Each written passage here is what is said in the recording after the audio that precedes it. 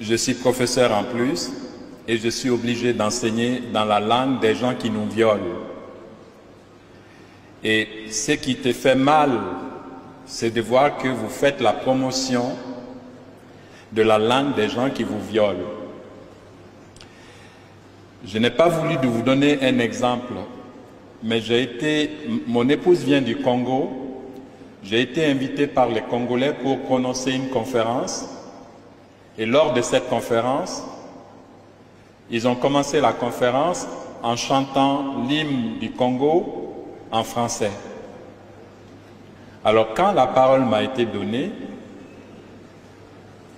en sachant très bien qu'il y a des grands chanteurs comme Franco, Pépé Calais, j'en passe, je ne peux pas comprendre que vous puissiez organiser une fête d'indépendance de votre pays et continuer à chanter l'hymne de votre pays dans la langue des gens qui vous violent.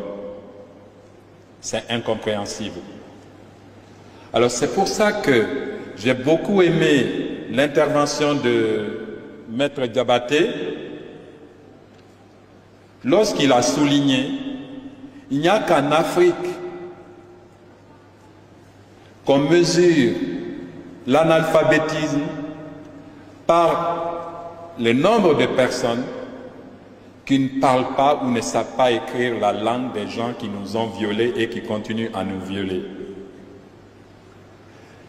Je vous jure, j'ai une conversation avec un sociologue du Sénégal. Il me parlait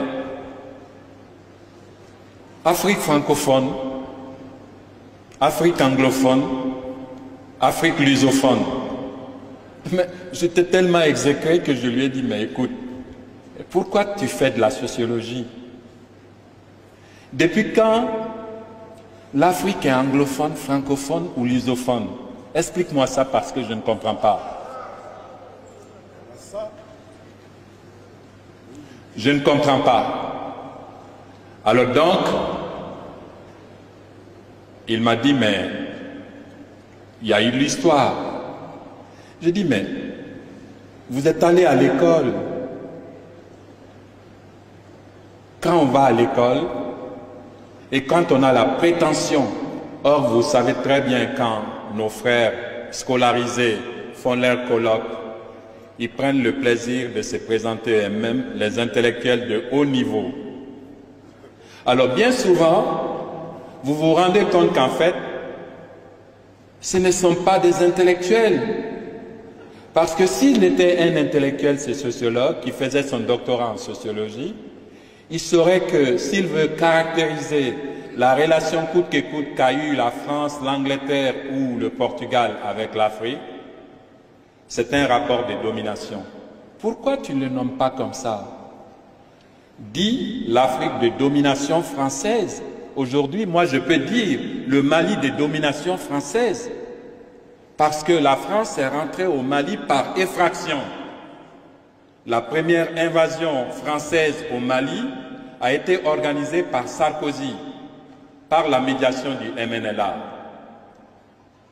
La seconde invasion, c'est François Hollande, après avoir, n'est-ce pas, manipulé bassiner l'oreille des gens.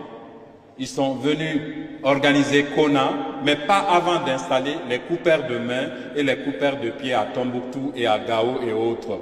Et dire à Radio France Internationale et les, leurs relais nationaux de répéter quotidiennement ce que les djihadistes sont en train de faire, n'est-ce pas, couper les mains. Et ensuite organiser Kona.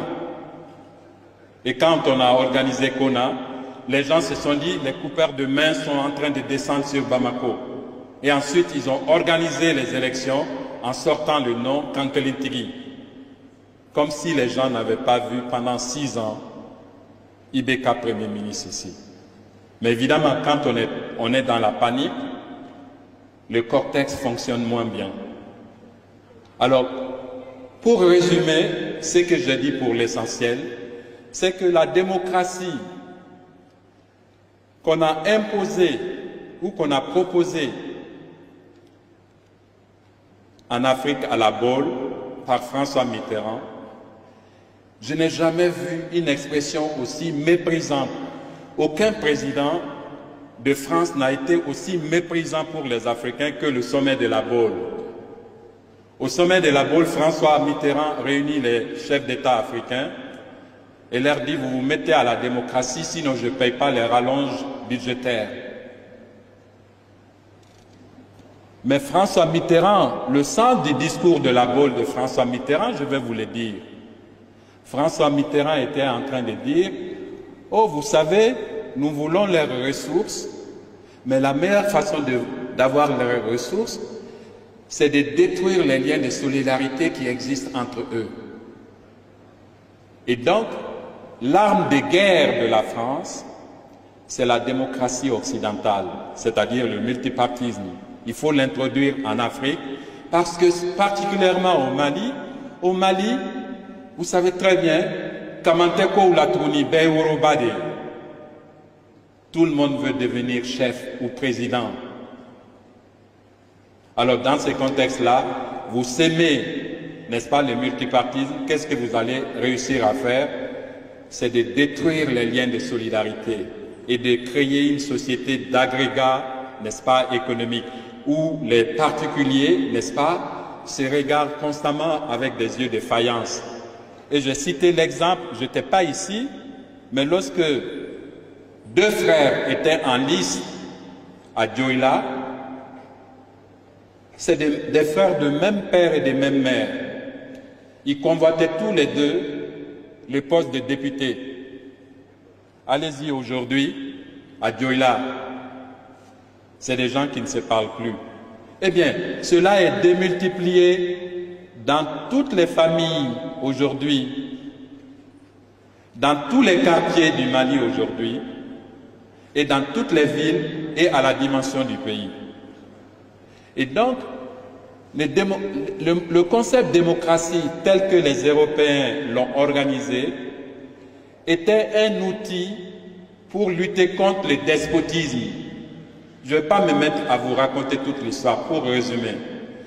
Si les Européens ont créé la démocratie parlementaire, c'est parce qu'il y avait des rois qui étaient des tyrans, qui ne leur laissaient ni la liberté d'aller et venir, ni ne sauvegardaient leur vie, ni ne protégeaient leurs biens contre l'usurpation.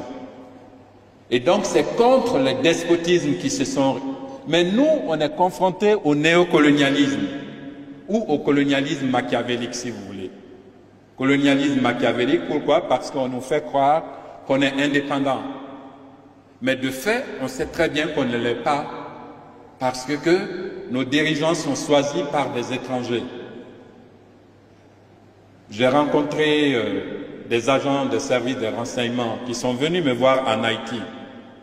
Ils m'ont dit comment ils ont mis d'abord ATT au pouvoir ici au Mali. Ensuite, ils m'ont dit comment ils ont mis par la suite Ibeka au pouvoir ici au Mali. Est-ce que nous allons tolérer qu'aux prochaines élections, ce soit encore un représentant de la France qui dirige le Mali? Si cela arrive, ce qu'ils n'ont pas pu faire en Guinée, c'est ce qui va arriver. Ils vont parvenir, parce qu'ils ont choisi quelqu'un de leur choix pour devenir le chef d'État du Mali, mettre le feu à la Guinée. Et s'ils arrivent à mettre le feu à la Guinée, n'est-ce pas, ils finiront par mettre le feu, n'est-ce pas, totalement, même aux pays qui les ont toujours aidés, souvent, qui ont été leur tête de pont, je ne voudrais pas que Dieu ne, l'empêche, même le Sénégal n'échappera pas.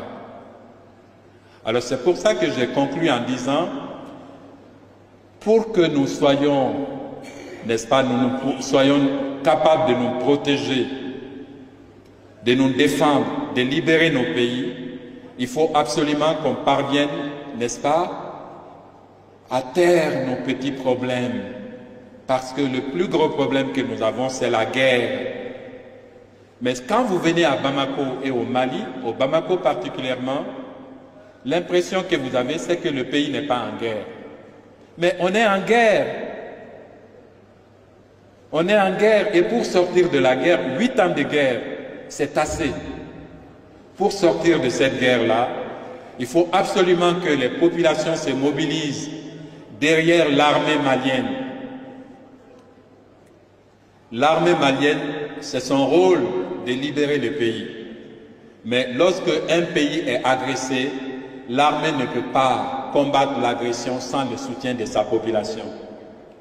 Et c'est pour ça que je vous exhorte, les petits problèmes que nous avons, que ce soit des gros problèmes ou des petits problèmes, c'est si peu de choses à, côté de l'agression, la guerre qui nous a été imposée par la médiation du MNLA. Vous entendez des concepts qu'on emprunte avec eux, ils vous disent il y a une guerre asymétrique au Mali. Mais il n'y a pas de guerre asymétrique au Mali, il y a une guerre par procuration au Mali.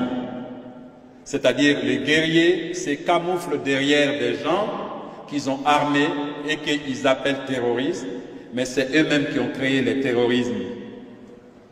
Et pour mettre fin à cela, il faut que nous nous unissons. Ce que je suis en train de dire n'est pas un discours contre le peuple français.